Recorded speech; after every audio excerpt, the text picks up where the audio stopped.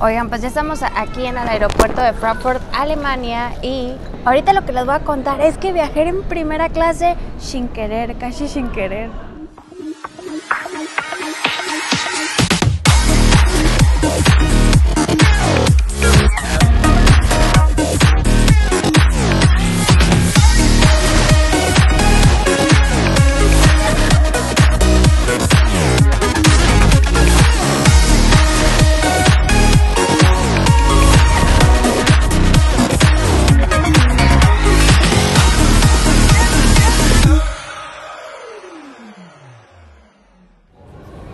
Ay, se me hace que me va a poner filtro porque me veo fatal. O me, doy una pintadita.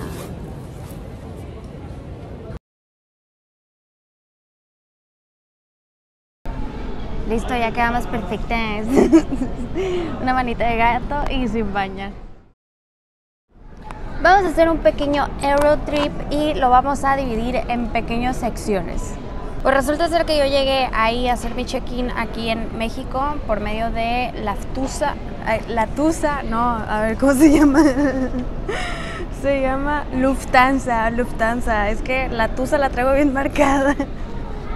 Total que llegué para hacer mi check-in. No sé qué rollo hubo en relación al equipaje y eh, pues como ese error lo tuvieron, me dijeron que me iban a dar primera clase yo feliz de la vida. La verdad es que yo viajé súper cómodo, fueron 10 horas de vuelo y yo me la pasé acostada y dormida, la verdad. Eh, te ponen a películas y demás cosas, pero ya saben que yo no sé mucho de eso, entonces eh, yo, me, yo me dormí, yo me dormí, comí, me dormí, soy una bebé. Y la verdad es que yo vi una copita y dije, uy, pues de aquí soy, pero resulta ser que era jugo de naranja, muchachos, no era pisto.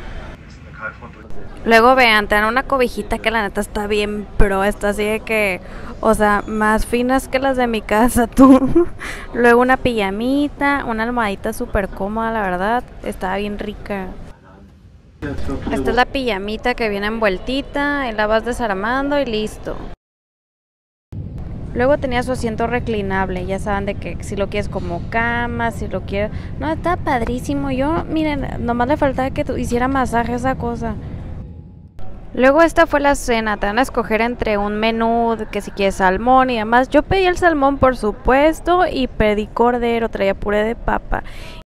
De postre pues me dieron unos quesitos ahí con mermelada y podías pedir pues vino, champán, de todo. Y la típica ya saben de que si querías una película tenía su control remoto, bien pro la neta tristísimo que nunca haya viajado en primera clase, va, pero pues por si ustedes no han viajado y es su primera vez, pues para que vean, aquí podía estirarme yo y estaba así hecho cama, buscando una peli aquí a todo lo que da. Ah, y esta era la mesita así desplegable y que salía ahí de, de un cajoncito, que era ese cajoncito, ahí estaba el control y había unos audífonos.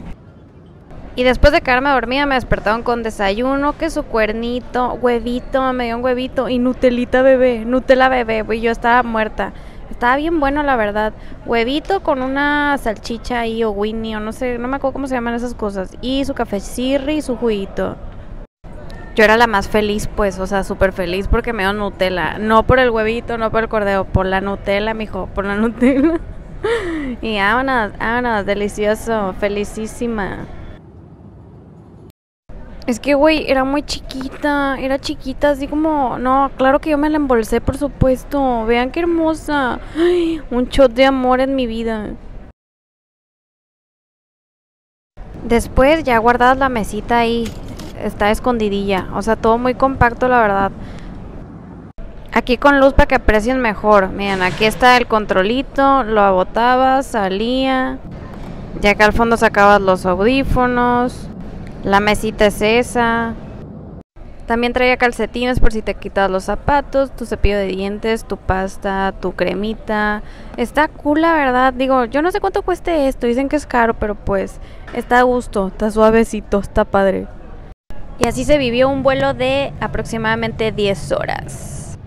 Ay, amigos, que siento que apesto, güey. Tengo que, pues 10 horas que no, no.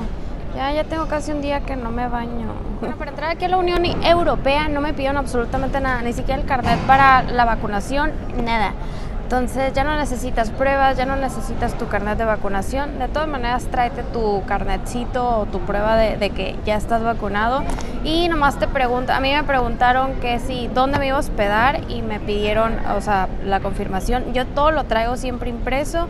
Eh, me pidieron, me preguntaron cuánto dinero traí que se los enseñara. Así que, a ver, a ver el cash, mija, a ver el cash. Y ya se los enseñé, pues yo traigo como 5 pesos porque pues lo fuerte son las tarjetas, ya saben, endeudadas siempre.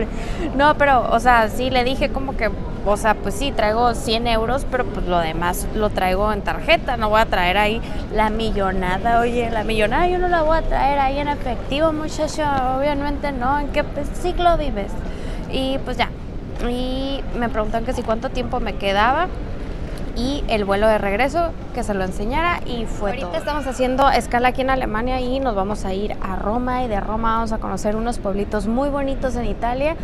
nos vamos a ir a París porque tenía muchas ganas de volver a ir a París y después regresamos y nos quedamos en Nápoles que ahí les tengo una súper sorpresa que es el motivo por el que me vine para acá. Lo único que no sé. Sale. Hola. Mi amigo. My friend.